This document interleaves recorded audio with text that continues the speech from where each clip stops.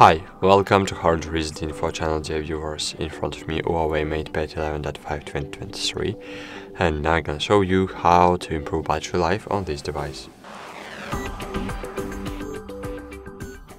To do it, first you need to open the control panel and here disable all unnecessary features. If you don't use Bluetooth right now, disable it. Disable Huawei Share if you don't need it right now and of course location services too.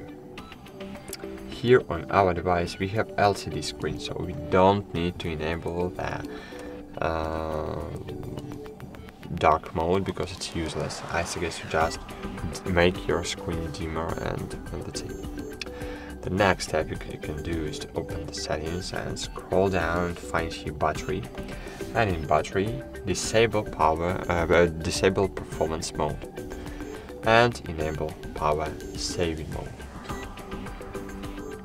So that's it.